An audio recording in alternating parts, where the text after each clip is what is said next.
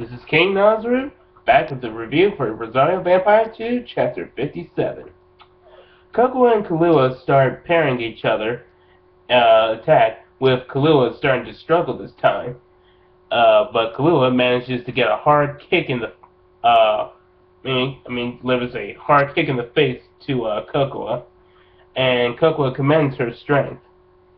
Uh, she is also glad that she can now fight on par with Kahlua.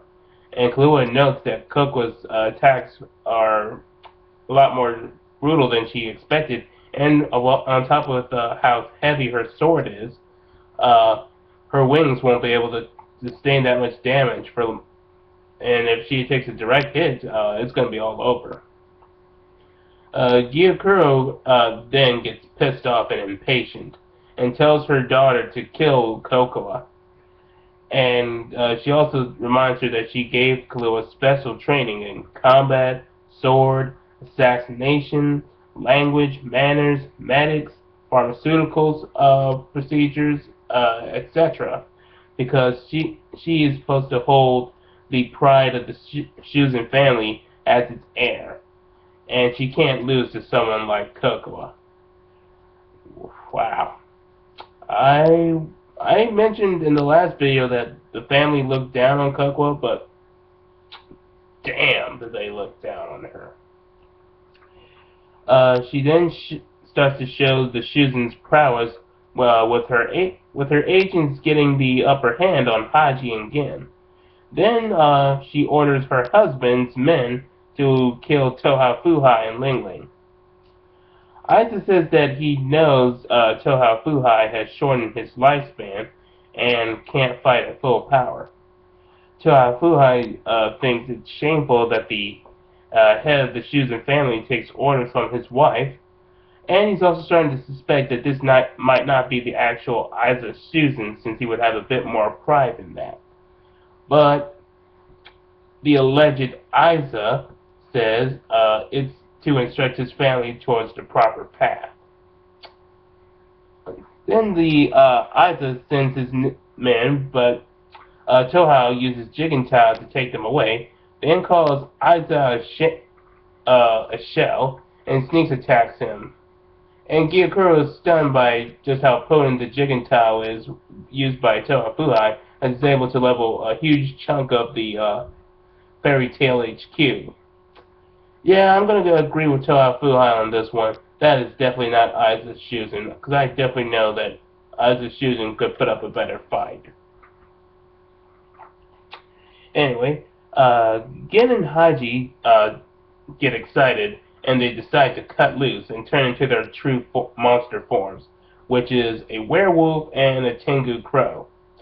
And it turns out that Haiji's uh, species, the Tengu crow, are known for loving children. See? I promised you. There was going to be a legitimate explanation why Haiji is so obsessively in love with Kokoa. It's just his species, uh, it's his species way. Anyway, uh, Gyokuro, uh, orders a charge, but Gin's best, uh, best them all with his, uh, werewolf speed uh, enhanced by the full moon. Uh, she then tells the uh, the the agents to group up so they can counter the speed, but Haiji uh, takes them out with a gale punch, which is which are punches that can actually create tornadoes. Okay. There, I've heard of tornado kicks, but I have never heard of tornado punches. And a punch that can create a tornado is fucking awesome in my book. I love this series. Yeah. Anyway, Gyokuro then gets nervous and starts to threaten, uh, threatening everyone, I mean, and Haiji to stop, but she is uh, ignored and she sees her agents are defeated.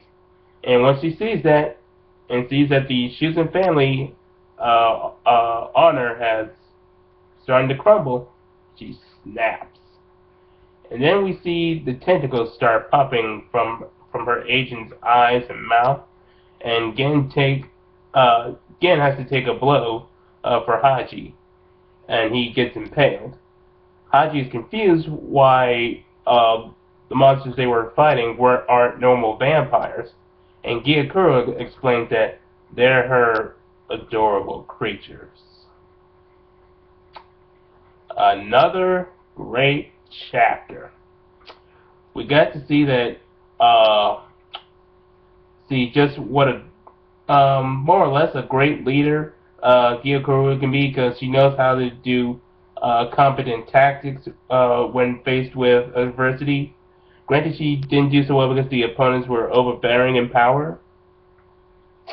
Uh, we also got to see it was also see a nice bit to get uh, more explanation on some of the some of the behavior of Haiji, and it was nice to see Gin and Haiji kick a lot of ass in their true forms, and it and it does explain a, a reason why uh, Issa Shuzen was working for Gyokuro. It was actually an imposter. And uh, let's see what else. And it's also nice to see that Kokoa is still uh, on the offensive against Kahlua and actually giving her a run for her money. So those were the uh, those were the two chapters. The next video, I got a little update for Dragon Ball Z Xenoverse.